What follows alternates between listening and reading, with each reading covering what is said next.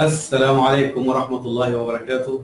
أهلا بكم معنا في أول مرة بث مباشر لينا على جروب المميز المتميز وعلى موقع نفهم. إن شاء الله النهاردة نشتغل معاكم استيعاب المكروه بكل الأفكار بتاعته الجديدة وكل الأفكار بتاعته المهمة اللي جت في الفترة الأخيرة في تجميع 39 فترة أولى أو فترة تانية. هنتكلم بالتفصيل النهاردة إن شاء الله عن العلاقات وبعدها بإذن الله هندخل على إيه الكلمات اللي نقدر نشيلها من النص واللي ما نقدرش نشيله. تمام؟ أتمنى يعني الناس تركز معايا. الموضوع هيكون سهل. إن شاء الله هيكون كل الافكار بالتفصيل. الأول خلينا نتفق على كام حاجة مهمة في استيعاب المكروه أنا عايزك لما تدخل الامتحان إن شاء الله تنسى حتة الحفظ دي نهائيا. يعني حاجة أنت حافظها مالكش دعوة بيها. اللي أنا عايزه منك حاليا إن أنت تركز على النص اللي قدامك في الامتحان. تشوف إيه اللي موجود في النص وتحل على أساسه. مالكش دعوة بقى إيهاب ادالك إيه فلان ادالك إيه معرفش مين ادالك إيه دي مش قصتك. انت قصتك قدامك نص حل على أساسه. طيب يا أستاذ الحفظ أسهل مش عارف إيه لا انسى القصة دي خالص واشتغل من الصفر في الامتحان. بإذن الله هتاخد الأفكار اللي هتساعدك إن انت تحل كده.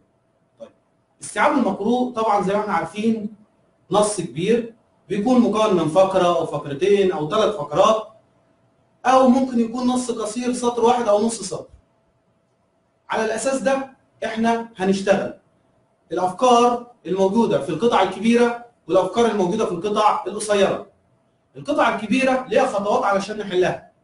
إن إحنا بنقرأ السؤال في البداية من بعد السؤال بنقدر نحدد الكلمة المفتاحية وبعد الكلمة المفتاحية بنطلع نجيب الإجابة من النص. طبعا دي مش هنتطرق ليها بالتفصيل دلوقتي إن شاء الله نحاول نعمل لكم ليها شرح مفصل.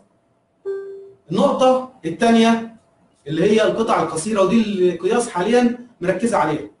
يعني أكتر حاجة بقت شغالة دلوقتي تلاقي الامتحان فيه 15 20 قطعة وكلهم سطر واحد سطر واحد سطر واحد وممكن تلاقي السطر الواحد ده عليه خمس أسئلة ست أسئلة سبع أسئلة كلهم استنتاج.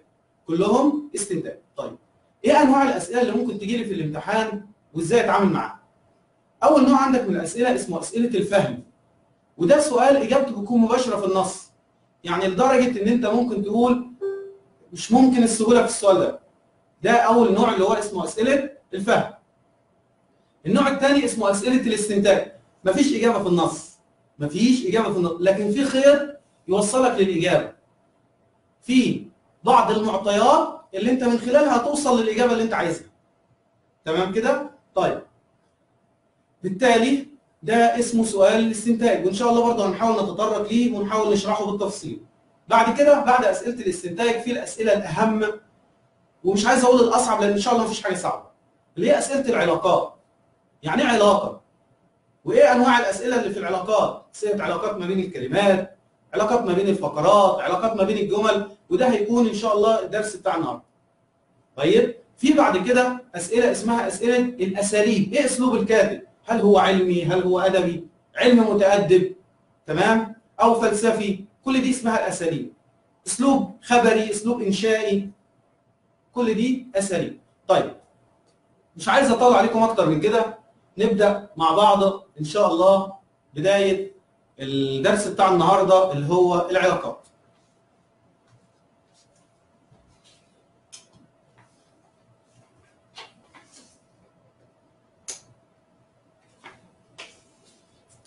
طيب. زي ما قلنا إحنا هنشتغل على الأفكار الجديدة. كل اللي جه في الامتحان في الفترة الأخيرة في أسئلة العلاقات سواء كانت ورقي أو محاوسة لأن كله لازم نشرحه بالتفصيل. أنا قلت لكم أنا عندي ثلاث أنواع من العلاقات. علاقات ما بين الكلمات علاقات ما بين الجمل علاقات ما بين الفقرات. بيجي يسألني يقول لي إيه علاقة الكلمة دي بالكلمة دي؟ أو إيه علاقة الجملة دي بالجملة دي؟ أو إيه العلاقة ما بين الفقرة دي والفقرة دي؟ فبالتالي لازم نشوف إيه أهم العلاقات اللي جت في الامتحان. يعني علاقة التأكيد علاقة التمثيل علاقة التفصيل علاقة التوضيح والتعارض السببية التعليل النتيجة علاقة الجزئية والكلية. علاقة التحليل وعلاقة الاستدراك علاقة التوازي. دي أهم العلاقات اللي المفروض إن إحنا هنشتغلها واللي لازم قبل ما تدخل الامتحان تكون مدركها كلها. درس النهارده هيبدأ بالسبب والنتيجة. عارف اللي هو لما يجي يقول لك إيه مين اللي جه الأول الفرخة ولا البيضة؟ مين السبب في مين؟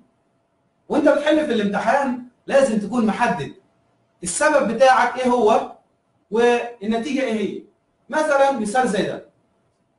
إن تذاكر تنجح. لو ذاكرت هتنجح.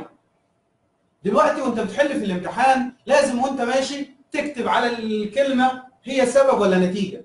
هنا إن تذاكر تذاكر هي السبب. المذاكرة أكيد هي الإيه؟ هي السبب. طب إيه اللي هيحصل؟ هتنجح. يبقى دي النتيجة. طب يا أستاذ دلوقتي بيجيني السؤال يقول لي مش عارف علاقة تذاكر بتنجح وعلاقة تنجح بتذاكر. المفروض أعرف هي سبب ولا نتيجه إزاي؟ بص معايا الحل بتاعك بيكون بالكلمة الأولى. الكلمة الأولى عندك اللي هي تذاكر دي. يعني لما يقول لي علاقة كلمة تذاكر بكلمة تنجح. طب تذاكر أنت كاتب عليها إيه؟ سبب. يبقى الإجابة سبب. تبقى الإجابة سبب. طيب لما أقول لك علاقة كلمة تنجح بكلمة تذاكر. طب تنجح انت كاتب عليها إيه؟ كاتب عليها نتيجة يبقى الإجابة نتيجة. معنى كده إن الحل عندي بيكون من الكلمة الأولى. إيه اللي اتذكر في الأول؟ هل هو السبب ولا النتيجة؟ وعلى أساس ده أنا بشتغل. مثال تاني لما أقول لك إن تركض تتعب. لو جريت هتتعب. فين السبب؟ الجري. يبقى تركض. فين النتيجة بتاعته؟ التعب يبقى لما يجي يسألني في الامتحان يقول لي علاقة تركض. آه يا أستاذ ده كتب تركض في الأول وأنا كاتب عليها سبب يبقى الإجابة سببية. طيب لما يجي يقول لي علاقة تتعب بتركض. تتعب أنت كاتب عليها إيه؟ كاتب عليها نتيجة يبقى الإجابة نتيجة. تبقى الإجابة نتيجة. يبقى معنى كده إن حلك بيكون بالكلمة الأولى اللي ذكرها في السؤال. طيب تعالوا نشوف كده مثال تاني. ومن يتهيب صعود الجبال يعيش أبد الظهر بين الحفر. اللي بيخاف يطلع الجبل هيعيش طول عمره ما بين الإيه؟ ما بين الحفر. طيب فين السبب وفين النتيجة؟ بيخاف يصعد الجبل هي السبب يبقى دي سبب. يعيش أبد الظهر بين الحفر هيعيش طول عمره تحت يبقى دي النتيجة. يبقى كده أنا حددت السبب بتاعي وأنا لسه من غير ما أنزل على الأسئلة. حددت السبب بتاعي فين وحددت النتيجة فين. يجي السؤال يقول لي علاقة جملة يتهيب صعود الجبال يخاف من طلوع الجبل. أنت كاتب عليها إيه؟ كاتب عليها سبب. خلاص الإجابة سببية. طيب سؤال تاني. علاقة كلمة يعش أبد الظهر بين الحفر. يعش أبد الظهر أنت كاتب عليها إيه؟ نتيجة. خلاص الإجابة بتاعتك نتيجة.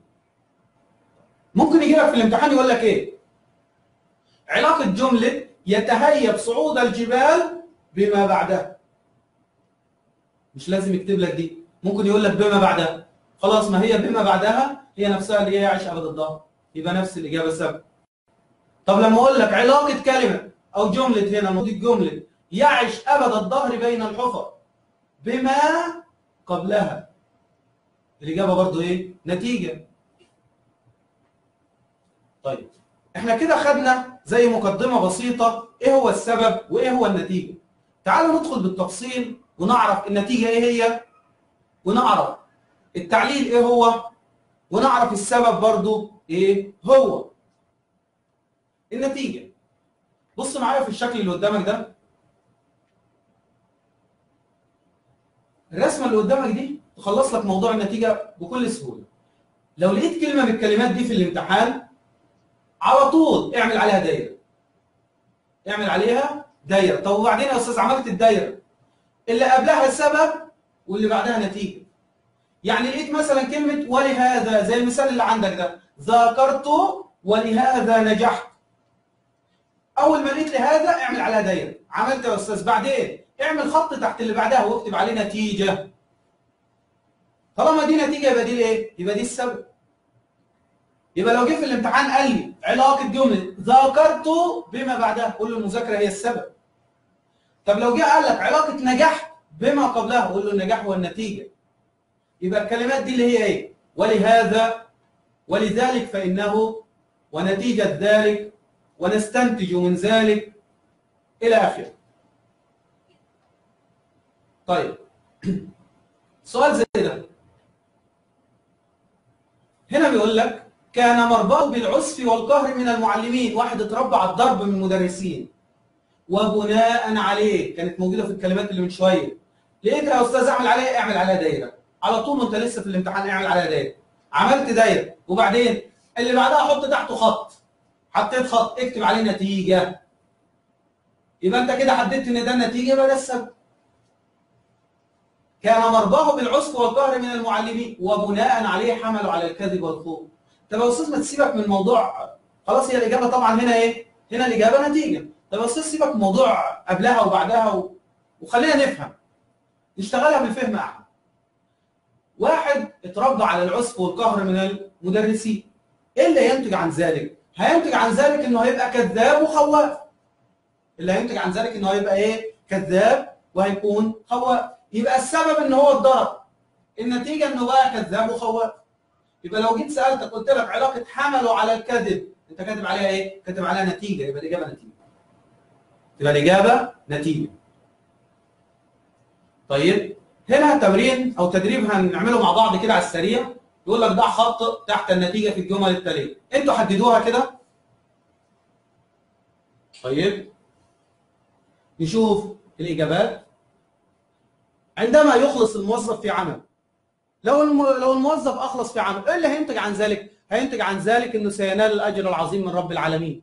يبقى ده السبب وده النتيجة بتاعته. هو طالب منا حدد النتيجة. خلاص تعالى دي اكتب له نتيجة.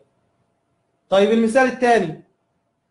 تشعر الأم بالسعادة عندما يتفوق أبنائها. تعالى هنا يا أستاذ إزاي ده أنت حاطط لي النتيجة في الأول. هو ينفع النتيجة تيجي في الأول؟ آه ينفع النتيجة تيجي في الأول. طب إزاي؟ لو أنا قلت لك قلت لك مثلا أنا نجحت علشان أنا ذاكرت. فين السبب هنا؟ السبب إن أنا ذاكرت والنتيجة كانت نجحت اللي جت في الأول. يبقى معنى كده الترتيب مش هيفرق. يعني مش لازم تكون السبب في الأول والنتيجة في الآخر. يبقى عادي هنا ممكن النتيجة تيجي فين؟ في الأول. شعور الام بالسعادة هو ده النتيجة. الحاجة اللي حصل سواء كانت حلوة أو وحشة هي النتيجة. الحاجة اللي حصلت سواء كانت حلوة أو وحشة هي الإيه؟ النتيجة. لما أقول لك تناول الخضروات والفواكه يساعد على بناء جسم سليم. فين السبب تناول الخضروات؟ تكتب عليها السبب. فين النتيجة؟ بناء جسم سليم. تكتب عليها نتيجة. لو نزلت الأسئلة مثلا تحت قال لك علاقة بناء جسم سليم بما قبلها. أنت كاتب إيه على بناء جسم سليم؟ كاتب نتيجة. يبقى الإجابة نتيجة. تبقى الإجابة نتيجة. طيب. لما أقول لك قراءة الكتب هي وسيلتك الفعالة. ليه؟ لبناء عقل سليم. يبقى فين السبب؟ قراءة الكتب. فين النتيجة بتاعته؟ بناء عقل سليم. بناء عقل إيه؟ سليم. طيب. نشوف السؤال جه في الامتحان إزاي؟ فكروا فيه بنفس الطريقة اللي اتفقنا عليها.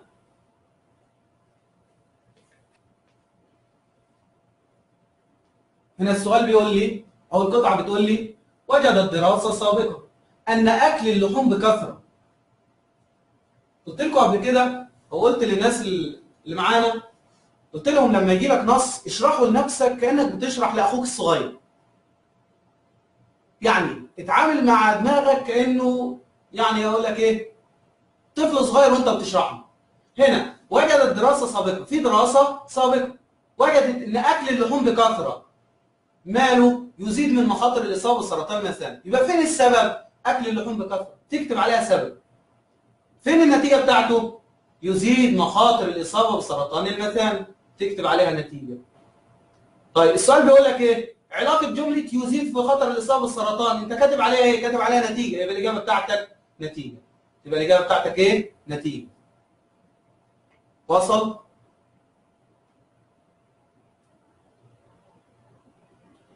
النقطة الثانية عندي النهاردة هي التعليل. وقبل ما أدخل في التعليل في سؤال محير ناس كتير إيه الفرق ما بين التعليل والسببية؟ في المعنى مفيش فرق ما بينهم. في المعنى مفيش فرق ما بين التعليل وما بين السببية. الفرق ما بينهم في صياغة الجمل. وهنعرف يعني إيه الفرق ما بينهم في صياغة الجمل بعد شوية. بيقول لك التعليل هو إجابة على سؤال بلماذا؟ يعني إيه؟ طب سيبك من الكلام اللي هو بلماذا والكلام ده خلينا ناخدها كده يعني بلغة عامية. لما أقول لك اسأل نفسك سؤال بليه؟ ليه ما جيتش النهارده؟ ليه اتأخرت؟ ليه خرجت؟ ليه ما ذاكرتش؟ ليه ما نمتش؟ هي ليه دي؟ هي نفسها لماذا؟ هي نفسها إيه؟ لماذا؟ بالتالي لما أقول لك لماذا تأخرت؟ أنت ليه اتاخرت هتقول لي مثلا علشان الطريق كان زحمة. الإجابة اللي أنت قلتها هي دي التعليل الإجابة اللي أنت بتقولها هي الإيه؟ هي التعليل علشان الطريق كان زحمة. هو ده التعليل بتاعك. طيب لما أقول لك أنت ليه ما جبتش درجة كاملة؟ تقول لي عشان الاختبار كان صعب. علشان الاختبار كان صعب هو ده التعليل يبقى لما أسألك سؤال بلماذا؟ الإجابة اللي أنت هتنطقها هي دي التعليل هي دي ليه؟ التعليل طيب في بعض الكلمات أول ما تشوفهم في الامتحان على طول ده تعليل على طول ده إيه؟ ده تعليل زي إيه؟ زي كلمة نظرا لأن أو لأن. ودي أساسية في الامتحان الورقي. نظرا لأن أو لأن. أول ما تشوفها حط تحتها خط هي والجملة اللي بعدها واكتب عليها تعليل على طول وأنت مغمض. نمت لأنني مرهق. أدي لأنني. حط تحت لأنني مرهق. دي خط كلها واكتب عليها تعليل. طب يا أستاذ يعني ما نعرفش إحنا نظرا لأن ولا غير. طب اسأل نفسك سؤال بلماذا كده؟ لماذا نمت؟ هتجاوب تقول إيه؟ هتقول لأنني مرهق. يبقى لأنني مرهق هي الايه هي التعليل بتاعك يبقى علاقة لأنني مرهق بما قبلها دي التعليل يا أستاذ. يبقى أول واحدة معانا هي نظرا لأن أو لأن. تاني نقطة. لام زائد فعل مضارع. أي لام زائد فعل مضارع يديك تعليل على طول. إزاي؟ سافر ليحقق أحلامه. ده لام وده فعل مضارع. لام وفعل مضارع على طول تقول له إيه؟ دي جملة تعليل. تحط خط تحت ليحقق أحلامه دي كلها وتكتب عليها تعليل. تكتب عليها إيه؟ تعليل. لما أقول لك لماذا سافر؟ الإجابة هتكون إيه؟ ليحقق أحلامه. مش إحنا قلنا. الإجابة بتاعتك هي دي التعليل خلاص. يبقى ليحقق احلامه هي دي التعليل لما أقول لك حتى زائد فعل مضارع برضه تعليل صمت حتى أحقق النص. ليه يا عم صمت عشان أحقق النص. طيب يبقى دي حتى ودي فعل مضارع. حتى وفعل مضارع يبقى إيه؟ يبقى تعليل يبقى علاقة الجملة دي بما قبلها تقول له تعليل. تقول له إيه؟ تعليل. طيب. كي وفعل مضارع. كي وإيه؟ وفعل مضارع. نمت كي أرتاح. لماذا نمت؟ كي أرتاح يا أستاذ. يبقى كي أرتاح هي الإيه؟ هي التعليل. لكي أول ما تشوف لكي على طول ده برضه تعليل ركضت بسرعة. أنا جريت بسرعة. طب ليه جريت بسرعة؟ لكي أحصل على المركز الأول. يبقى الجملة اللي فيها لكي أحصل دي كلها هي جملة الإيه؟ هي جملة التعليل هي جملة التعليل لكي لا عكس لكي أو النفي بتاع لكي. ذاكرت لكي لا يقال أني مهمل. أنا ذاكرت. طب ليه ذاكرت؟ عشان ما يقولوش إن أنا مهمل مش عشان أنجح لا خالص. عشان ما يقولوش بس إن أنا إيه؟ إن أنا مهمل طيب؟ يبقى لو جيت سألتك قلت لك علاقة جملة لكي لا يقال أني مهمل بما قبلها هتقول لي دي تعليل لام والمصدر. ذهبت إلى الحديقة للنزهة. ذهبت إلى الحديقة للنزهة. للنزهة. لماذا ذهبت إلى الحديقة؟ عشان أتفسح. يبقى للنزهة. يبقى للنزهة هي الايه هي التعليل.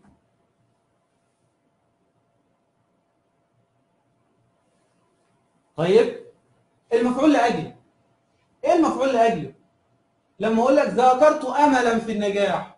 الجملة اللي فيها املا دي املا في النجاح هي دي جملة الإيه؟ هي دي جملة التعليم أي أي مفعول لأجله هو تعليم املا في النجاح رغبه في الفوز. تمام؟ يبقى ده كله اسمه مفعول لاجله وأي مفعول لأجله الأستاذ قال لنا إن هو تعليم. يبقى دول كلهم اللي قدامكم أول ما تشوفهم في الامتحان على طول دي جملة تعليم.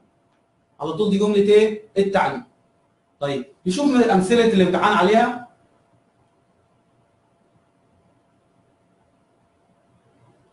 دي كلمة إيه؟ لكي.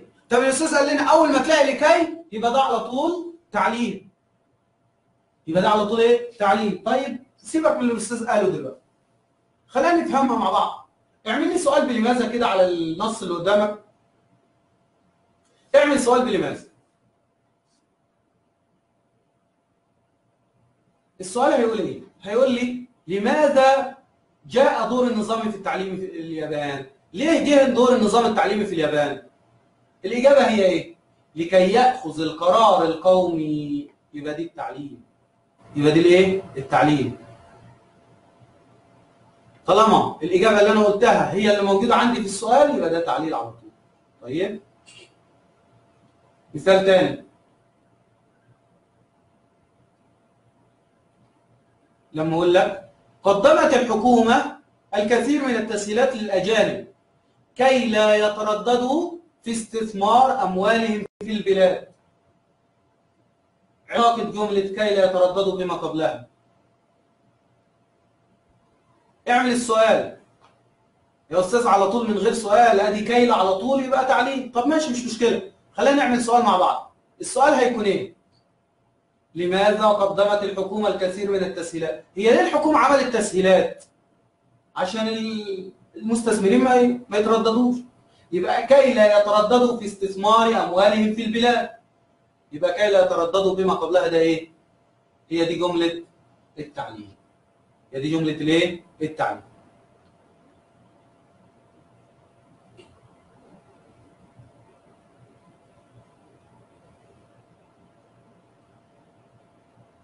قال فوثبوا عليه ليقتلوه. وثبوا عليه. ليه وثبوا عليه؟ عشان يقتلوه. مش انت سألت بليه؟ يبقى الإجابة بتاعتك تعليل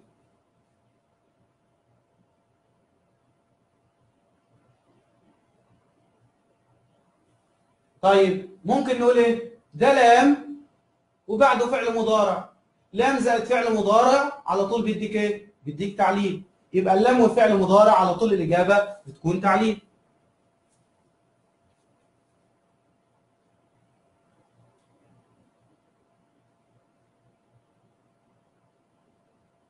قطعة التمر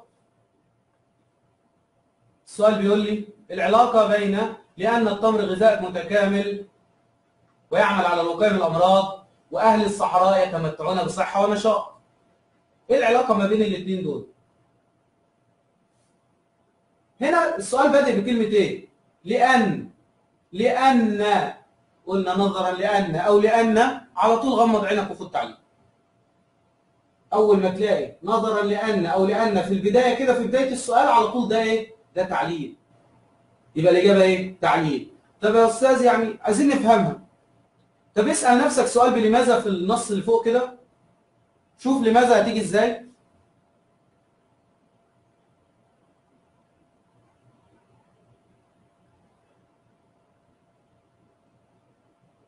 هيكون السؤال إيه؟ لماذا يتمتع أهل الصحراء بصحة ونشاط؟ ليه أهل الصحراء بيتمتعوا بصحة ونشاط؟ الإجابة لأن التمر غذاء متكامل يبقى الإجابة بتاعتي لأن يبقى ده تعليل يبقى ده الإيه؟ التعليل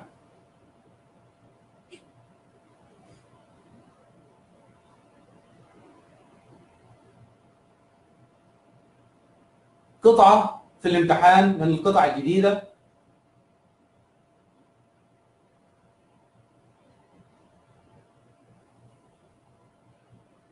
بتقول لي علاقة جملة ليحددوا لام وفعل مضارع على طول الإجابة تعليل.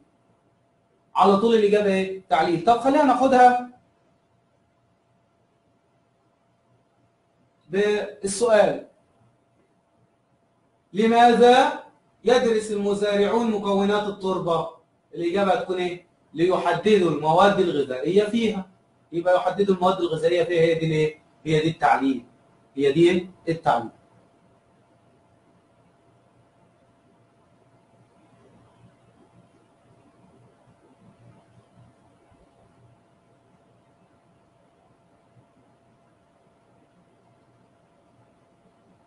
علاقة كلمة للحماية بما قبلها.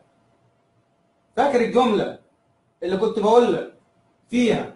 ذهبت إلى الحديقة للنزهة قلت لك للنزهة دي لام ومصدر على طول تبقى تعليل هنا للحماية لام ومصدر يبقى برضو إيه؟ برضو تعليل هنا بيقول لي لام والمصدر يبقى تعليل. طب نعمل السؤال كده. لماذا خلق الله لها الجفن والرموش؟ الإجابة تكون إيه؟ للحماية. الإجابة هي طلعت السؤال بتاعنا. يبقى على طول تعليم يبقى على طول إيه؟ تعليم طيب. دي قطعة من الامتحان. سيب لكم دقيقة تفكروا فيها علشان تحلوها.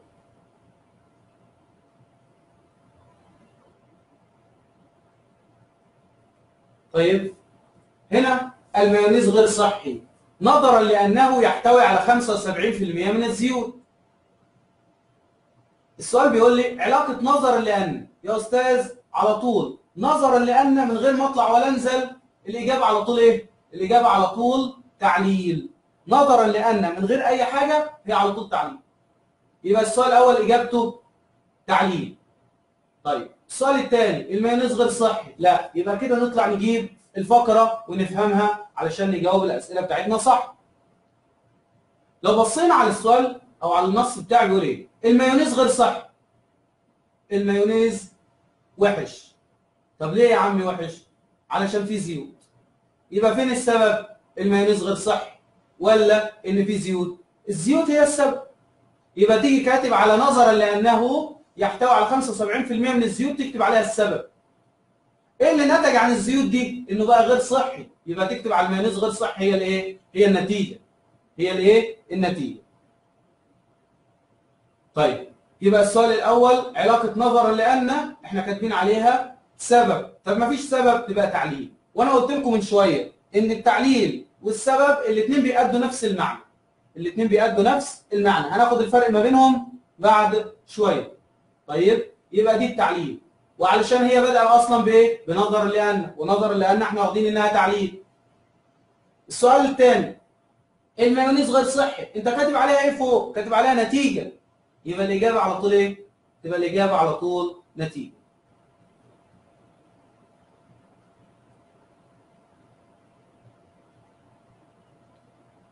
بعد التعليل هناخد علاقة السببيه إيه هي؟ علاقة السببيه أول ما تلاقي كلمة من الكلمتين دول بسبب أو نظرا ل خد بالك دي نظرا ل. اللي هناك اللي هي في التعليل اسمها نظرا لأن. وتركز على الفرق ما بينهم. نظرا ل دي سببية. نظرا لأن دي تعليل. طيب في برضه بعض الحروف تدل على السببيه يعني في حروف أول ما تشوفها تقول العلاقة إيه؟ سببيه خلينا ناخد المثال ده الأول. نظرا لدورات التدريب. مش كأني بقول لك بسبب دورات التدريب. يبقى بسبب دورات التدريب إيه اللي حصل؟ ارتقت معدلات الطلاب. يبقى فين السبب؟ دورات التدريب. تكتب عليها سبب. تكتب عليها سبب. فين النتيجة بتاعتها؟ ارتقت معدلات الطلاب تيجي كاتب عليها إيه؟ تكتب عليها نتيجة. طيب؟ زي ما قلت لك في بعض الحروف تدل على السببيه زي إيه؟ جلست من التعب. أنا قعدت. ليه يا عم قعدت؟ عشان أنا تعبان. هنا من معناها إيه؟ معناها بسبب. جلست بسبب التعب. جلست بسبب التعب. يبقى من التعب هي دي السبب. إيه اللي نتج عن تعبك إن أنا جلست يبقى النتيجة هي الجلوس. مثال تاني دخل السجن في جريمته. يعني إيه في جريمته؟ يعني بسبب الجريمة بتاعته. يبقى دخل السجن بسبب جريمته. بسبب إيه؟ جريمته. طيب دخل السجن بجريرته. يعني جريرة؟ يعني الفعلة بتاعته. يعني الفعلة بتاعته. يبقى بجريرته هي دي الايه؟ هي دي السبب. هي دي الايه؟ السبب.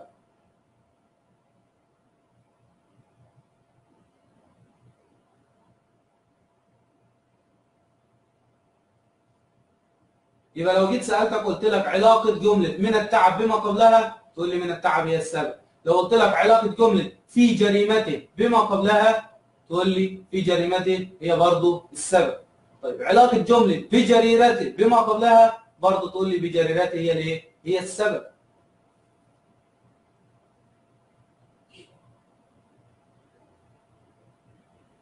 ده سؤال الامتحان.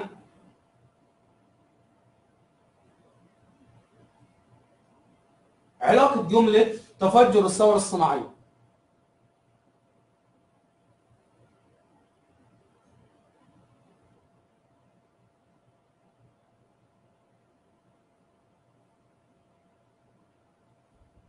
علاقة جملة تفجر الثورة الصناعية. بنعمل إيه؟ بنطلع فوق على النص نشوف تفجر الثورة الصناعية. لقينا تفجر الثورة الصناعية. إيه اللي قبلها؟ كلمة إيه؟ كلمة بسبب. خلاص الإجابة السببية. يبقى الإجابة إيه؟ سببية. طب يا أستاذ مش فاهمين. مش فاهمين. بيقول لك الحال المستقر للنظام البيئي لم يدم الحال المستقر للنظام البيئي الأرضي لم يدم يعني الأرض زمان ما كانش فيها مشاكل كانت الطبيعة ما فيش تلوث ما فيش ما فيش ما فيش. يبقى ده كان زمان. لكن للأسف ده ما دامش طب إيه سبب كده؟ السبب في كده تفجر الثورة الصناعية. يبقى الثورة الصناعية هي السبب. إيه اللي نتج عنها؟ إنه ما دامش النظام المستقر ده. يبقى نكتب على تفجر الثورة الصناعية السبب يبقى الإجابة السبب لما؟ قبلها. اللي هي ج سبب لما؟ قبلها.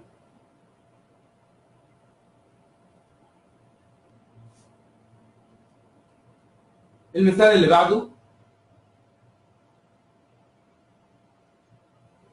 علاقة جملة ستصبح حياة بما قبلها. تعالوا نقرأ النص كده بيقول لي إذا خلت الحياة من العوائق والعقبات. لو الحياة بتاعتنا ما بقاش فيها عوائق ولا عقبات إيه اللي هيحصل؟ ستصبح حياة مملة. يبقى ستصبح حياة مملة هي النتيجة. فين سببها؟ إن الحياة ما فيهاش عوائق ولا عقبات. يعني لو حد عايش حياته ما عندوش مشاكل حياته كلها يعني الدنيا بتاعته ماشية ما فيش مشاكل فيها خالص. إيه اللي هينتج عن كده؟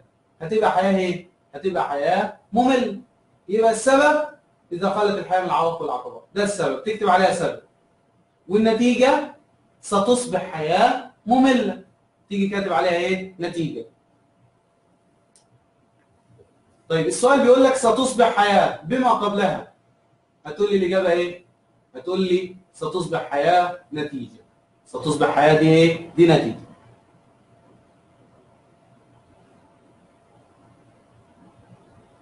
السؤال اللي كلكم عمالين تسألوه إيه الفرق ما بين السببية والتعليل؟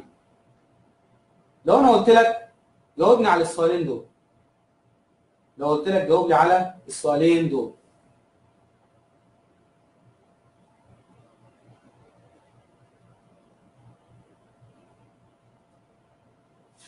حصل على الجائزة فراغ متفوق. حصل على الجائزة فراغ تفوقي هنا هنحط لأن ولا هنحط بسبب في الجملة الأولى. حصل على الجائزة لأنه متفوق. طب في الجملة الثانية حصل على الجائزة بسبب تفوقه. بسبب تفوقه. يبقى الجملة الأولى استخدمت لأن يبقى دي جملة تعليل. الجملة الثانية استخدمت بسبب يبقى دي جملة سببية. ده الفرق ما بين السببية وما بين التعليل. ده الفرق ما بين السببية وما بين الايه؟ وما بين التعليل.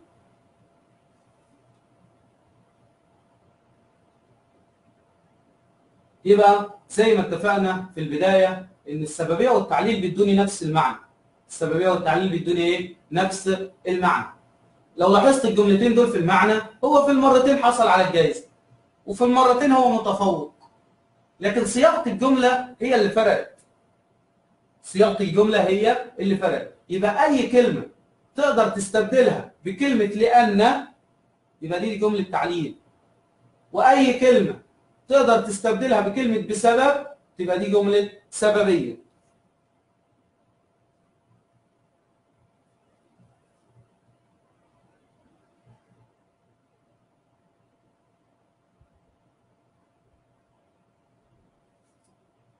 نركز في القطعة دي. دي قطعة الامتحان.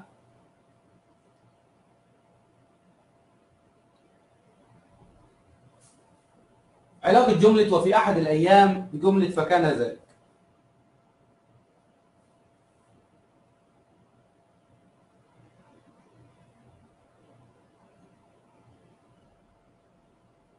هنا النص بيقول لي في أحد الأيام عندما قرر الذهاب في رحلة لقضاء إجازاته في جزر الكريم في يوم من الأيام قرر إن هو يروح رحلة. تمام؟ أخذ معاه الكاميرا بتاعته اللي كانت متوفرة في الفترة دي. فكان ذلك فاتحة لدخوله عالم التصوير بالصدفة. يبقى هنا في أحد الأيام هو راح رحلة. في أحد الأيام هو راح إيه؟ راح رحلة. يبقى ذهابه للرحلة هو ده السبب. تيجي كاتب عليها السبب تكتب عليها إيه؟ سبب. طيب. فكان ذلك فاتحة لدخول عالم التصوير. السبب إنه راح رحلة. إيه اللي نتج عنها؟ إنه دخل عالم التصوير. تكتب عليها نتيجة. تكتب عليها إيه نتيجة وتنزل على السؤال بتاعك. السؤال بتاعك علاقة جملة في أحد الأيام. مكتوب عليها إيه فوق؟ مكتوب عليها سبب. يبقى الإجابة السببية تبقى الإجابة إيه؟ سببية إحنا زي ما قلنا الحل بتاعنا بيكون باللي مكتوب في الأول. إيه اللي مكتوب هنا في الأول؟ مكتوب في أحد الأيام. طيب خد في أحد الأيام دي واطلع فوق شوف أنت كاتب عليها إيه؟ كاتب عليها سبب. تبقى الإجابة السببيه طب لو هو عكسها لك قال لك علاقة جملة فكان ذلك حط لك في الأول. ب في أحد الأيام. فكان ذلك هي الايه هي السبب. فكان ذلك أو سوري فكان ذلك هي الايه هي النتيجة. تمام؟ يبقى الجملة اللي بتتحط في الأول هي اللي بنحل عليها. طيب؟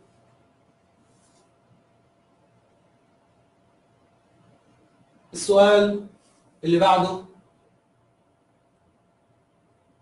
ده من الأسئلة الصعبة في السببية. من الأسئلة الصعبة في السببية وهو الأمر الذي وضعه. لاحظ إنه بيقول لك بما بعدها. بما بعدها. هنا أحد معارفه في العمل نصحه بأن يصور رحلته كاملة. واحد من أصحابه أو من المعارف بتوعه قال له إيه؟ صور الرحلة بتاعتك كاملة. وهو الأمر الذي وضعه. إيه وهو الأمر دي؟ دي تعود على إيه؟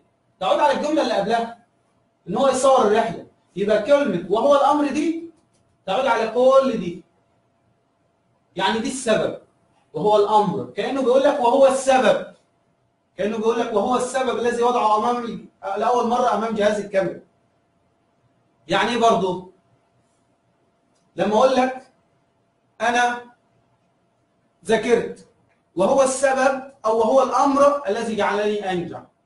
يبقى المذاكرة هي السبب. المذاكرة هي الايه السبب. نفس هنا بالظبط. تصوير الرحلة هو السبب. كلمة وهو الأمر دي أو جملة وهو الأمر دي تعود على كل اللي اتذكر ده. يبقى دي إيه؟ يبقى دي سببية. تبقى دي سببية. يبقى التصوير هو السبب. إيه اللي نتج عنه؟ إنه لأول مرة ياخد الكاميرا معاه. يبقى هنا الإجابة سببية.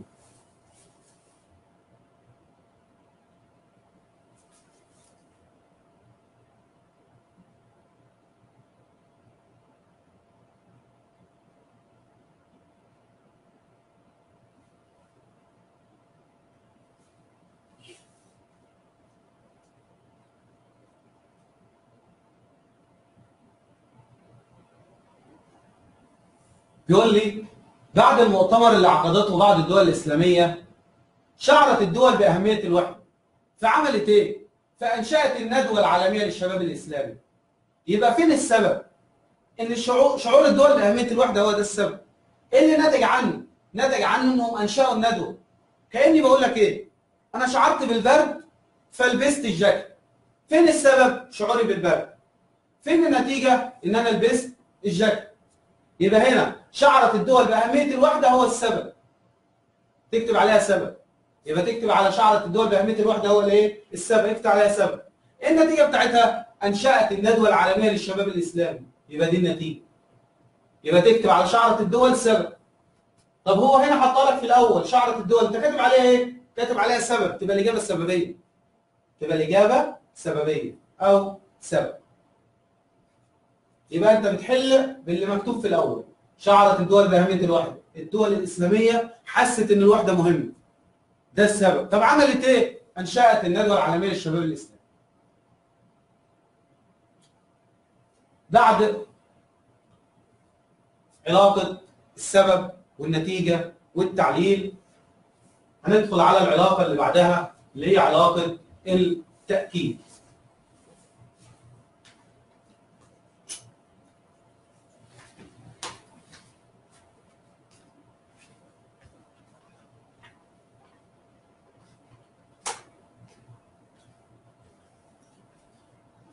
طبعا أنا بعتذر لأن أنا مش عارف أشوف الكومنتات بتاعتكم سواء كانت حلوة أو وحشة سواء كانت ضرب أو شتيمة أو حد بيجري ورايا. المهم اللي أنا قلته أو ملخص اللي أنا قلته في الجزء الأول إن هو ثلاث حاجات.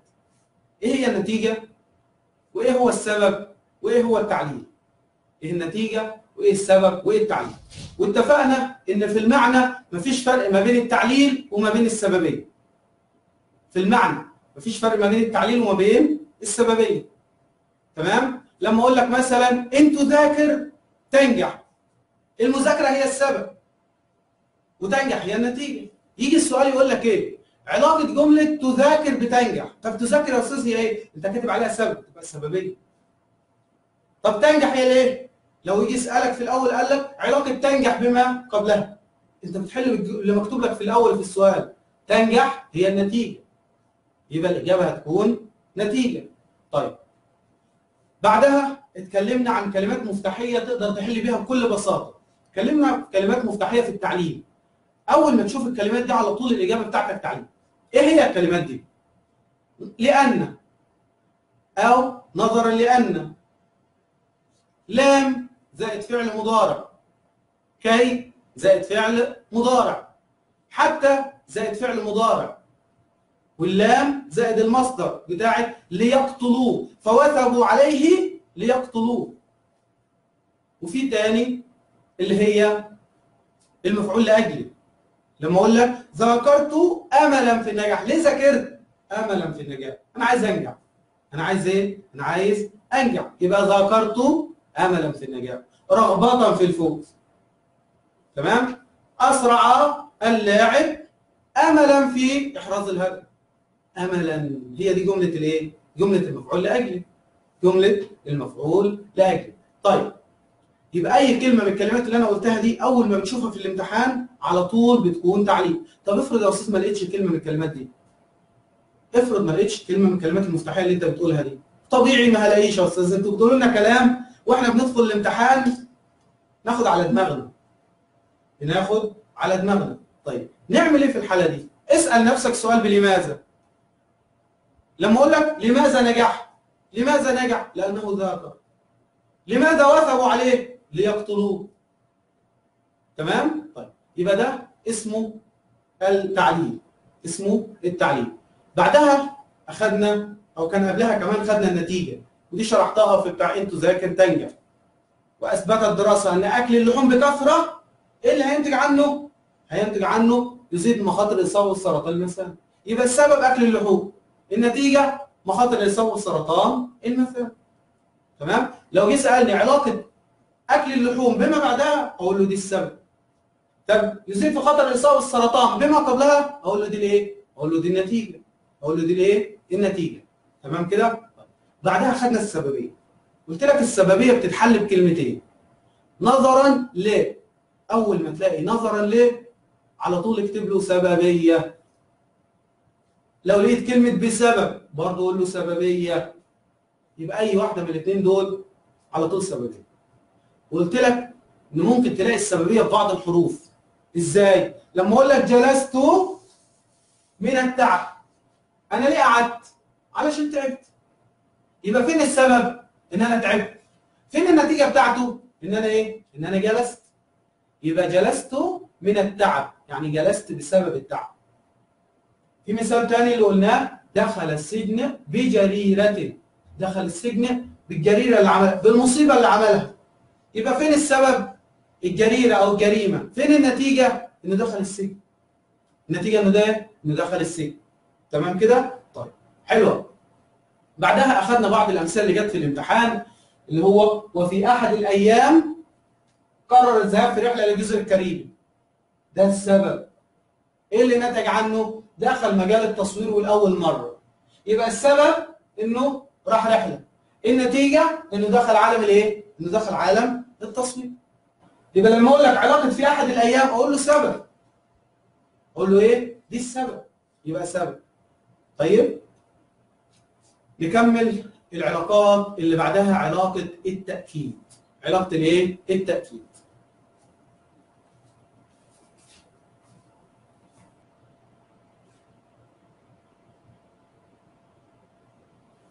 السؤال بيقول لك أو بداية الشرح هنا بيقول لك الترادف. يعني إيه ترادف؟ الترادف يعني الكلمة ومعناها. الترادف يعني الكلمة ومعناها. بيفيد التأكيد. يبقى أي ما تلاقي ترادف في الامتحان تقول له الإجابة تأكيد. تقول له الإجابة إيه؟ تأكيد. طيب تعالوا نشوف أمثلة بسيطة. لما أقول لك كان الاختبار سهلا ويسيرا. سؤالي بيقول لك إيه العلاقة ما بين سهلا ويسيرا؟ العلاقة تقول لي سهل هي نفسها يسير يبقى العلاقة ترادف يبقى العلاقة ما بين سهل ويسير إيه؟ ترادف طيب لما أقول لك كانت الرحلة شاقة ومتعبة سؤالي إيه العلاقة ما بين شاقة ومتعبة؟ تقول لي شاقة ومتعبة العلاقة ترادف العلاقة إيه؟ ترادف طيب يبقى نوع العلاقة ترادف طب إيه غرض الترادف؟ غرض الترادف التأكيد يبقى معنى كده إن إحنا هنجاوب على سؤالين إيه نوع العلاقة؟ ترادف إيه غرض العلاقة؟ تأكيد طب تعالوا نشوف كده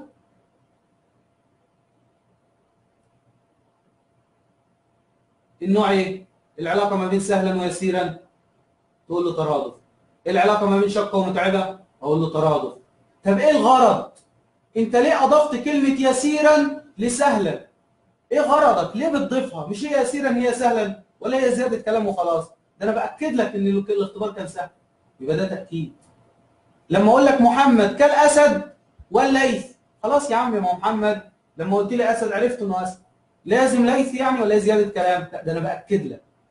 يبقى لما يكون كلمتين مترادفتين غرضهم التأكيد. غرضهم الإيه؟ التأكيد. يبقى النوع إيه؟ ترادف. الغرض إيه؟ التأكيد. طيب نشوف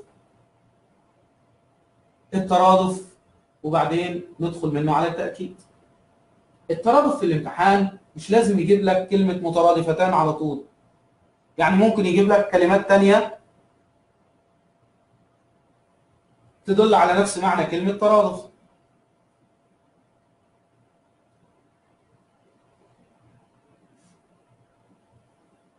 زي إيه؟ زي متماثلتان. متشابهتان. تحمل نفس المعنى. تحمل نفس المضمون. تكرار لمعناها. الثانية تحمل معنى الأولى أي كلمة من الكلمات اللي قدامكم دول هي مسمى من مسميات الترادف. يعني مثلا يقول لك في الامتحان سافرت إلى البيداء والصحراء. ما هي البيداء؟ هي الصحراء. إيه العلاقة ما بينهم؟ هتقول لي مترادفتان. طب ما لقيتش مترادفتان في الامتحان. قول لي متماثلتان متشابهتان. تحمل نفس المعنى تحمل نفس المضمون. تكرار لمعناها. الثانية تحمل معنى الأولى.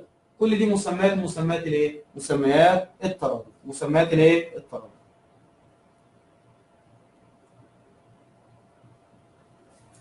طيب؟ نشوف جت في الامتحان إزاي. ده نص قطعة الذباب. العلاقة ما بين كلمة تكاد وكلمة تقريبا؟ هنا مش بقول لك الغرض بقول لك إيه العلاقة؟ العلاقة يا أستاذ إن تكاد لما أقول لك أنا أكاد أصل أكاد أصل إليه يبقى أنا تقريبا هصل إليه. يبقى ترادف. طب ما فيش ترادف. يبقى ناخد إيه؟ متشابهة. دي قطعة الذباب. قطعة الايه؟ الذباب. يبقى أول مثال عندي في الامتحان على الترادف العلاقة ما بين كلمتي تكاد وتقريبا نقول متشابهة. طيب يا أستاذ ليه ما خدتش متطابقة؟ إيه الفرق ما بين متطابقة ومتشابهة؟ إيه الفرق ما بينهم؟ التطابق يعني في كل الصفات. يعني لو رسمت لك مثلا مثلث كده وفوقه مثلث تاني نفس المواصفات بتاعته يبقى ده اسمه تطابق. ده اسمه تطابق. يبقى التطابق بيكون في كل الصفات. طب التشابه لا في صفة أو في صفتين بس. ده مثلا مثلث صغير أهو قائم الزاوية. تاني مثلث كبير قائم الزاوية. هل ينفع أقول إن دول متطابقين؟ لا. لكن مالهم متشابهين. قطعة الرجولة في الإسلام. السؤال بيقول لي العلاقة بين هامة الشرف وغرة المجد. هي هامة الشرف هي نفسها غرة المجد هنا بقول لك لعل من أهم الفروق التي تميز المسلمين في أول أمرهم وفجر حياتهم عن المسلمين اليوم. إيه اللي بيميز المسلمين زمان عن المسلمين دلوقتي؟ ما شاء الله النص يعني مديها لنا في وشنا بيقول لك إن زمان كانوا رجالة دلوقتي الله يعين تمام فقد غني العصر الأول بمن كانوا هامة الشرف وغرة المجد. هي هامة الشرف هي نفسها غرة المجد. يبقى العلاقة إيه؟ ترادف. طب ما فيش ترادف يا أستاذ في في النص قدامي يبقى تكرار للمعنى. مش إحنا قلنا إن تكرار المعنى دي من مسميات الترادف؟ يبقى تكرار لإيه؟ تكرار للمعنى. المثال اللي بعده.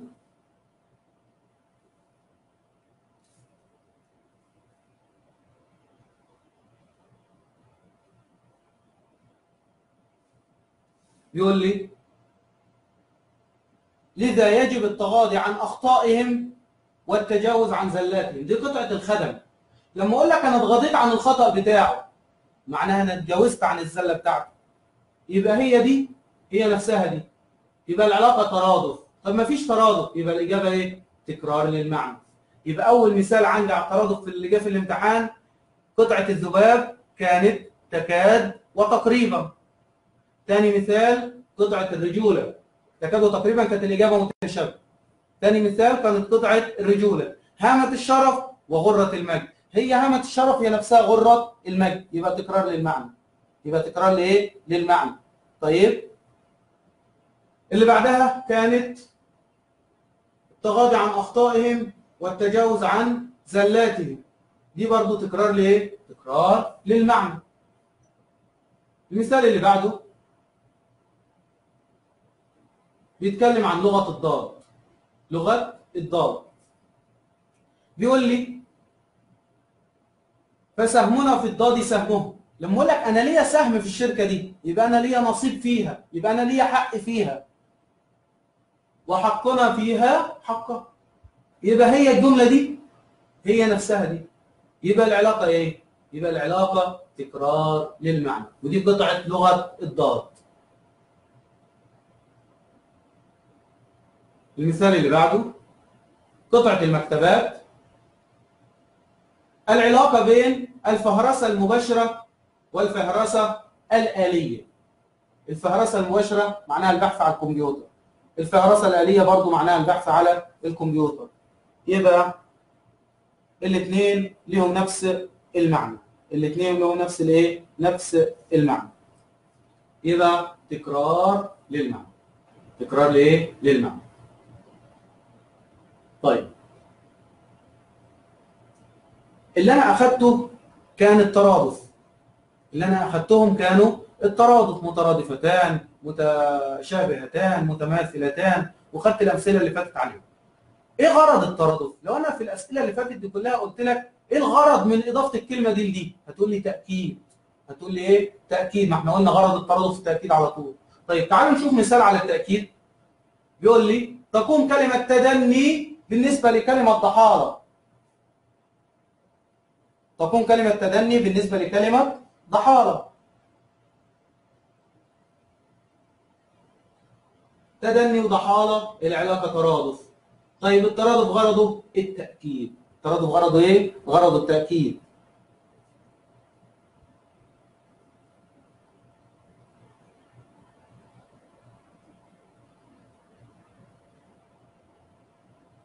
المثال الثاني على التأكيد تكون كلمة التوتر بالنسبة لكلمة القلق. إيه العلاقة ما بين التوتر والقلق؟ ترادف.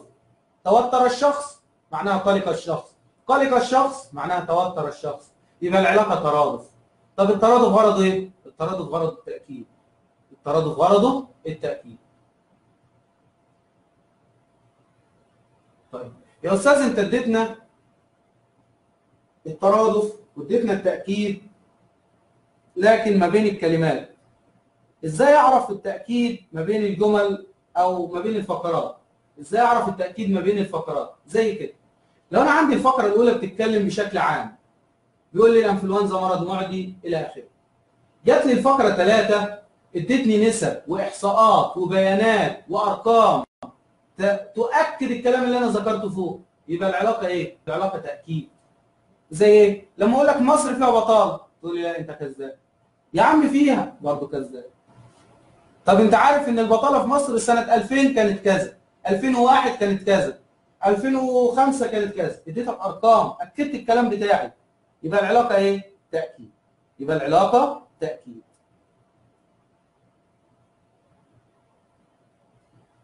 هناخد ملخص للي أنا قلته كله علشان الناس اللي اللي فاتها أي حاجة يشوف علاقة التأكيد كلها وعلاقة الترابط. لما أقول لك تكاد تقريبا تكاد تقريبا دي قطعة إيه؟ قطعة الذباب. إيه النوع ما بينهم؟ متشابه. لما أقول لك إيه العلاقة ما بينهم؟ تقول لي متشابه. طب لو أنا سألتك قلت لك إيه الغرض؟ هتقول لي تأكيد بس ما جاتش في الامتحان طيب السؤال الثاني لما أقول لك في قطعة الرجولة إيه العلاقة ما بين هامة الشرف وغرة المجد؟ هتقول لي هامة الشرف هي نفسها غرة المجد. يبقى تكرار للمعنى. تكرار لايه للمعنى. لما أقول لك التغاضي عن أخطائهم والتجاوز عن زلاتهم. هي التغاضي عن أخطائهم هي نفسها التجاوز عن زلاتهم. يبقى ده برضه اسمه تكرار المعنى. اسمه تكرار إيه؟ المعنى. فسهمنا في الضاد سهمه. قطعه لغة الضاد. وحقنا فيها حقا. هي دي هي نفسها دي. يبقى برضه ده تكرار للمعنى.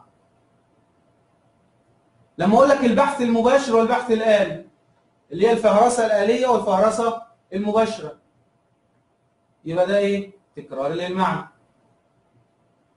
طب لو أنا سألتك إيه الغرض من كل اللي فاتوا دول؟ هنا لو أنا قلت لك املا لي الفراغ هنا هتكتب لي تأكيد تأكيد تأكيد تأكيد تأكيد. لأن إحنا اتفقنا إن أي تكرار للمعنى أو أي ترادف غرضه التأكيد. غرضه إيه؟ التأكيد.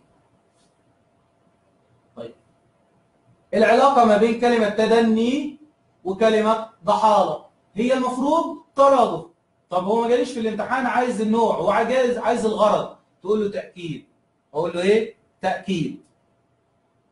طب هنا إيه العلاقة ما بين القلق والتوتر؟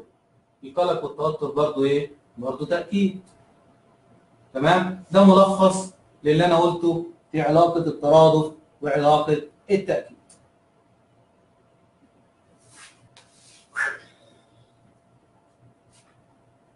زي ما قلت لكم المرة اللي فاتت أنا مش عارف أنتوا بتكتبوا إيه في التعليقات لكن موضوع العلاقات محتاج إنك تسمعه مرة ومرتين علشان تستوعبه علشان تقدر إن أنت تستوعبه.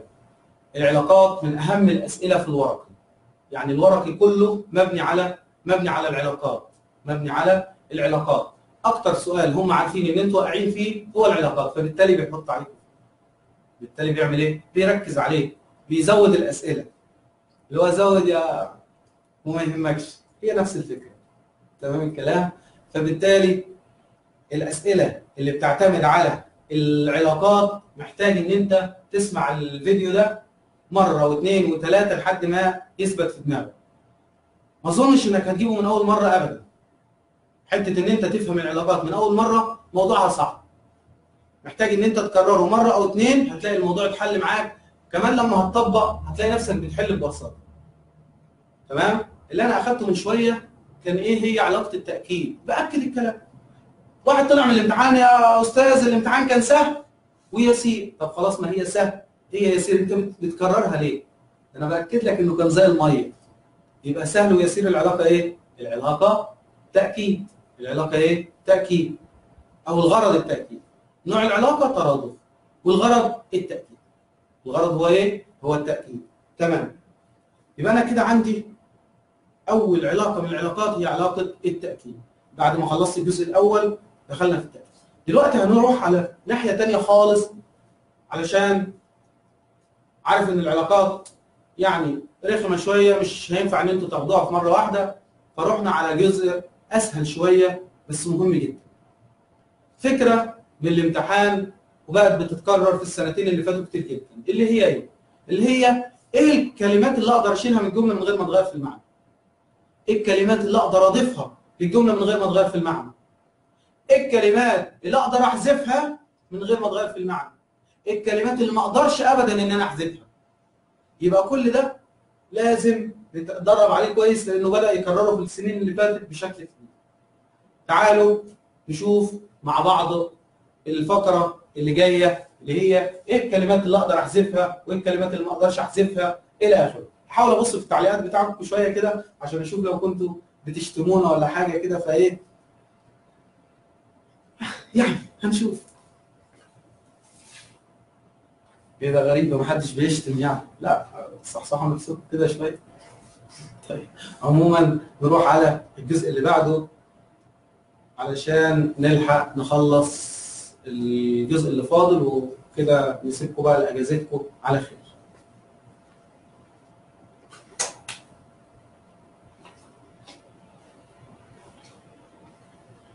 المرة دي إيه هي الكلمات وإيه هي الحروف وإيه هي الجمل اللي أنا أقدر أحذفها من غير ما اتغير في المعنى؟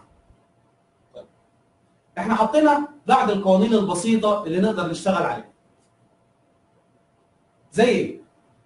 سيبكوا طبعا من الرغي الكتير ده مالناش إحنا في الكلام الكتير. أنا عندي الكلام اللي فات ده كان بيقول لك إيه؟ لو عندك كلمتين لهم نفس المعنى زي كده سلبية وسيئة. هي سلبية هي نفسها سيئة. الكلمتين لهم نفس المعنى. تقدر تشيل دي؟ وتقدر تشيل دي طب نعمل إيه يعني؟ شوف الاختيارات جايب لك إيه؟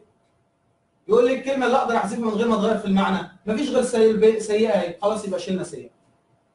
طب افترض إن هو في الامتحان جاب لك الاثنين الامتحان جاب لك سلبية وجاب لك سيئة. نعمل إيه؟ شيل الثانية شيل الكلمة الثانية برضه سيئة هي اللي هتتشال برضه سيئة هي إيه؟ هي اللي هتتشال يبقى لما يقول لك سلبية سيئة الكلمة الثانية دي فقط للتأكيد. فاكر من شوية وأنا بديك الطراد قلت لك الكلمة الثانية محطوطة عشان تأكد الكلمة الأولى؟ خلاص أنا مش عايز تأكيد. أنا مستكفي بكلمة سلبية والحمد لله على كده. تمام الكلام؟ يبقى هنا أقدر أشيل كلمة إيه؟ أقدر أشيل كلمة سلبي. طيب؟ يبقى القاعدة الأولى لو عندي كلمتين لهم نفس المعنى وواحدة منهم موجودة في الاختيارات خلاص اشيلها لو الاثنين في الاختيارات بشيل تاني واحدة. بشيل تاني واحدة. دي الفكرة الاولى طيب شوف المثال في الامتحان. المثال الثاني. بيقول لك ما الكلمة التي يمكن حذفها من الجملة؟ إيه الكلمة اللي أقدر أشيلها من الجملة اللي قدامي دي؟ لاحظ إن كلمة القمري هي نفسها كلمة الهجري. القمري هي نفسها الإيه؟ هي نفسها الهجري. الاثنين لهم نفس المعنى. طب نعمل إيه؟ شيل الثانية اللي هي إيه؟ يبقى نشيل الهجري. يبقى نشيل الهجري طيب؟ يبقى لما يكون عندي كلمتين لهم نفس المعنى بشيل تاني واحدة. بشيل تاني واحدة. طيب؟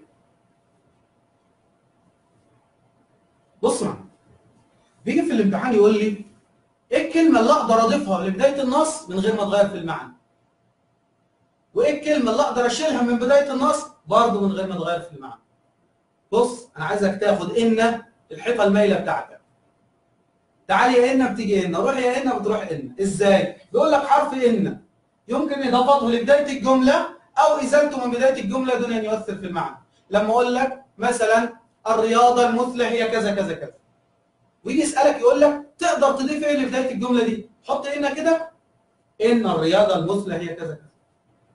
يبقى إن أقدر أضيفها وأقدر أشيلها من غير ما أتغير في المعنى خالص. تمام؟ طب تعال نشوف الأمثلة اللي جت عليها في الامتحان. الصداقة الحقيقية كالصحه الجيده لا تدرك أهميتها إلا عند مفارقتها. بيقول لك ما الحرف الذي من الممكن وضعه في بداية النص؟ تعال يا إن حط له إن هنا. إن الصداقة الحقيقية. ظبطت؟ خلاص يبقى ناخد إن. يبقى ناخد إيه؟ إن. تمام كده؟ طيب. شوف الناس فاهمة ولا لأ؟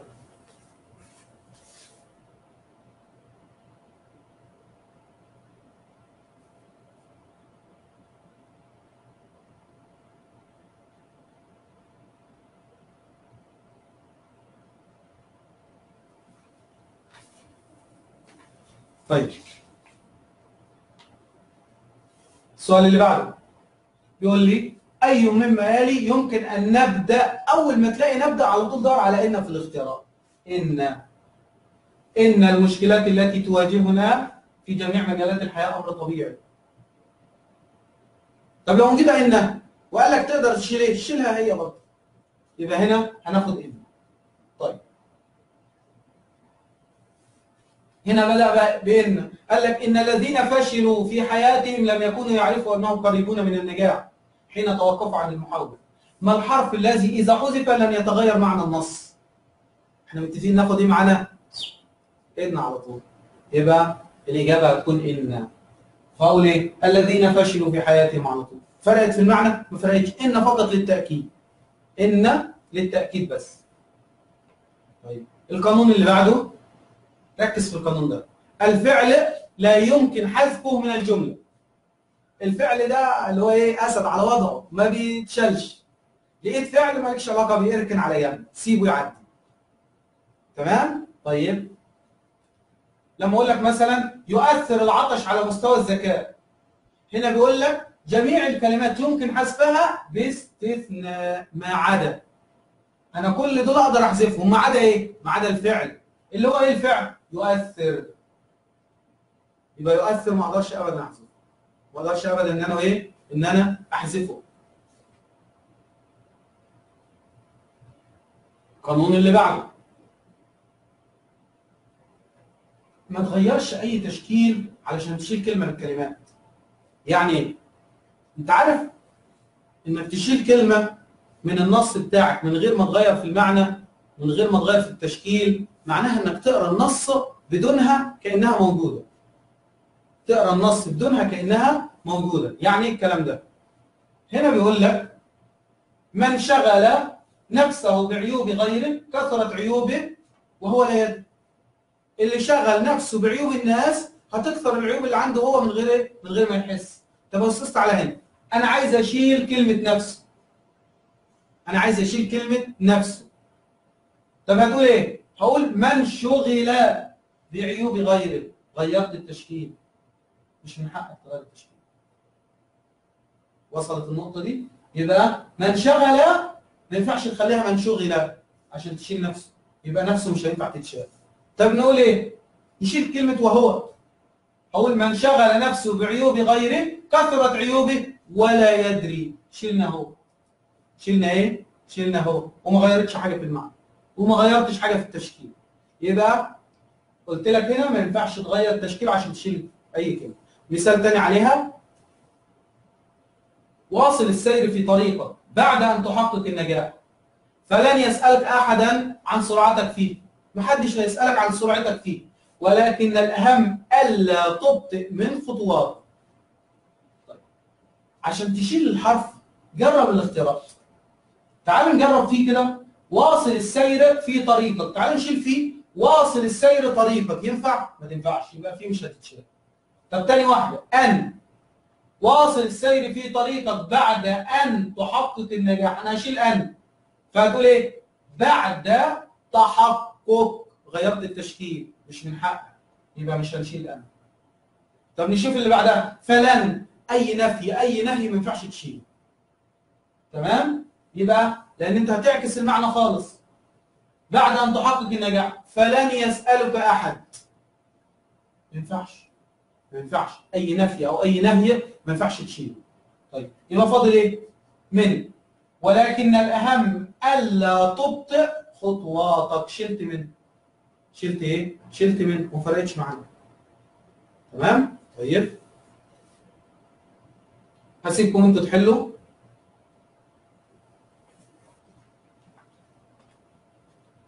طيب. طبعا سبت لكم وقت بس مش عشان تحلوا عشان أقول لهم يعملوا لي شاي بصراحة يعني.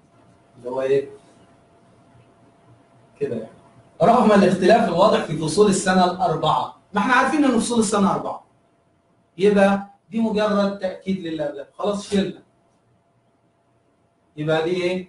شيل فصول السنة اربعه طيب يبقى فصول السنة إلا أننا نجد أشخاص. طب تعالوا نجرب الطريقة السهلة.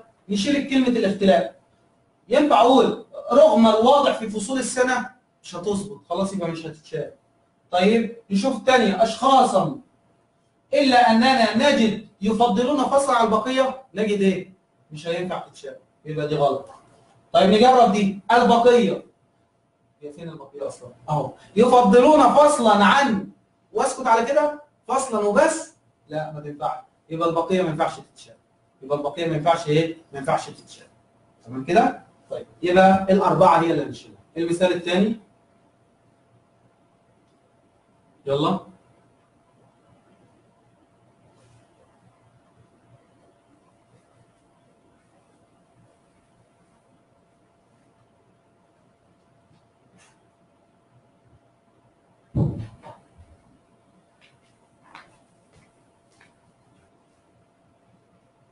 هنا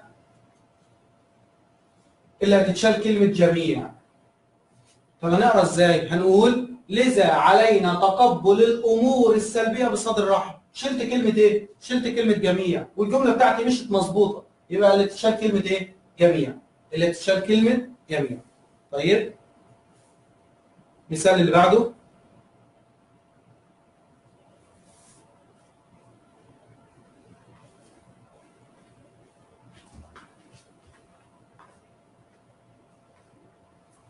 ليست الأهداف ضرورية لتحفيزنا فحسب بل هي أساسية فعلا لبقائنا على قيد الحياة. تعالوا نشوف أول كلمة اللي هي ليست. ينفع أقول الأهداف ضرورية لتحفيزنا فحسب لا. شيل. يبقى ليس مش هتتشال طب أستاذ أنا هشيل فحسب. فحسب دي أهم كلمة في الجملة. طب إزاي يعني أهم كلمة؟ ليست الأهداف تعالوا نشيل فحسب ونجرب كده معنى الجملة. ليست الأهداف ضرورية لتحفيزنا. بل هي أساسية فعلا لبقائنا على قيد الحياة.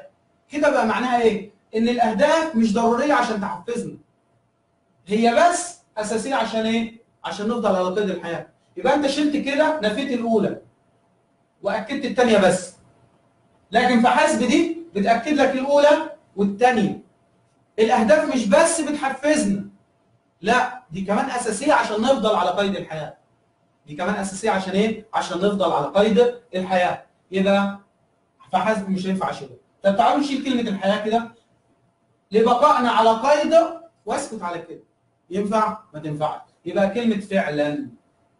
لما أقول لك بل هي أساسية لبقائنا على قيد الحياة. شلت فعلا. وما حدش حس بيه يبقى فعلا إيه؟ تتشال.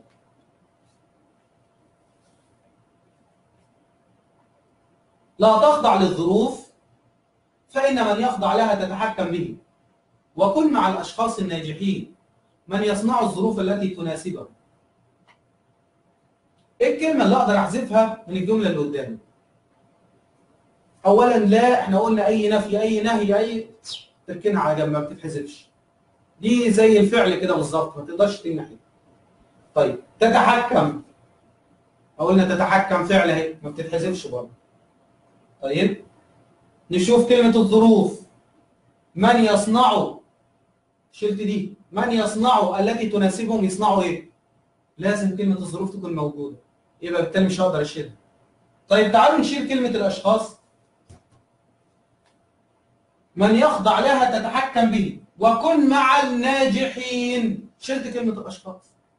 شلت كلمة الايه؟ الأشخاص. خلاص الناجحين عادت عليها. حلت محلها. مش محتاجها.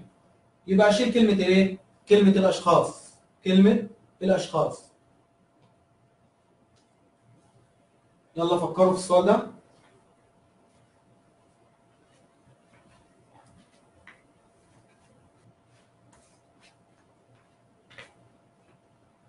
إيه الكلمة اللي أقدر أحذفها من غير ما أتغير في المعنى؟ تعالوا نجرب كلمة يعلو يعلو فعل. ابعد عنها. خلاص سيبناها في حالها. يصدق يصدق فعل. ابعد عنها. سيبها في حالها. طب الناس؟ طباع الناس مثل المعادن ينفع أقول طباع مثل المعادن طباع مين؟ يبقى ما تتشالش. طب شيل طباع كده اللي هي ألف تعالوا نشيلها. الناس مثل المعادن.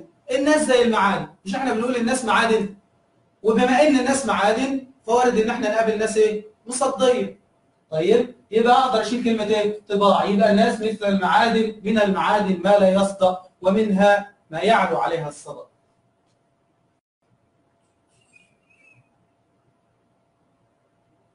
المثال اللي بعده. يلا اتفضلوا.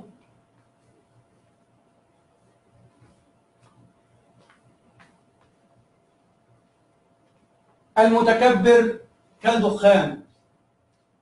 المتكبر اللي شايف نفسه. تمام؟ يعلو بنفسه عامل زي الدخان. يعلو بنفسه إلى طبقات السماء العليا وهو وضيع.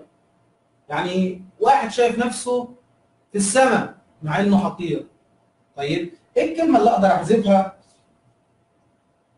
من غير ما أغير النص بتاعي؟ طب تعالوا نشوف المتكبر كده. ينفع أقول كالدخان يعلو بنفسه؟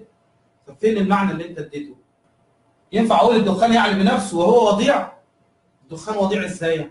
ما ينفعش. يبقى المتكبر ما ينفعش تتشال طب تعالوا نشوف نشيل كلمة السماء. المتكبر كالدخان يعلو بنفسه إلى طبقات العليا.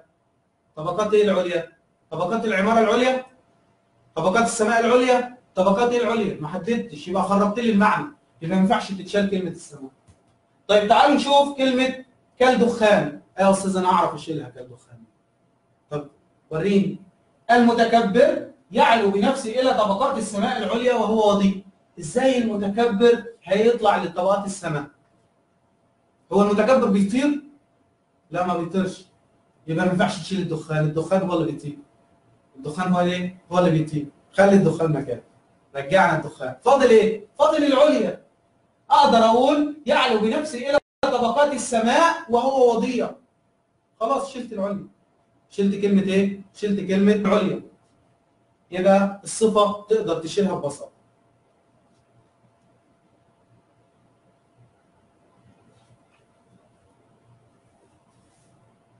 النفط الخفيف هو الأغلى سعرا في السوق. ومع ذلك فالحصول على مشتقات كثيرة منه متاح ومتوفر. تعرف لو كان حط لك خط تحت كلمة واحدة تحت واحدة من دول كنت شلتها على طول لأن الاثنين ترادف. لكن للأسف مش موجودين خالص. ففكر كده ممكن تشيل إيه؟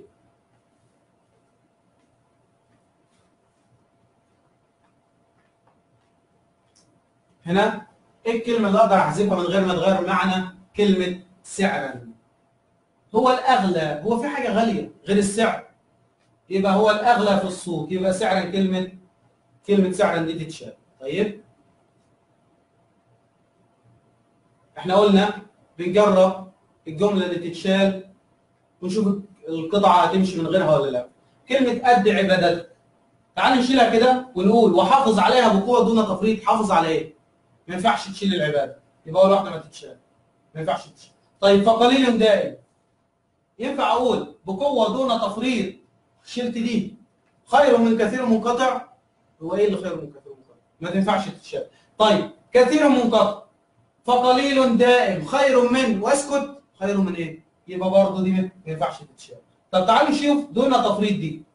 أد عبادتك وحافظ عليها بقوة. فقليل دائم. خير من كثير منقطع. يبقى شلت كلمة دون تفريط. شلت كلمة إيه؟ دون تفريط. طيب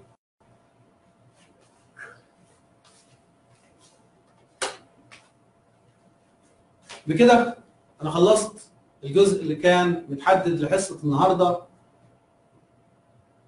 إن شاء الله ناس اللي حضرت تكون استفادت ولو بجزء بسيط. أتمنى أكون وصلت المعلومة بسيطة زي ما في حد هنا بيقول لي كأنك بتشرح الأولى ابتدائي. فيعني لو شفت منك فهم أعلى من كده أكيد كنت رفعت مستوى الشرح أعلى من كده. ف موضوع يعني اللي هو زي ما بيقولوا عرض وطلب. انت عرضت لي إيه؟ فانا اديتك إيه. تمام؟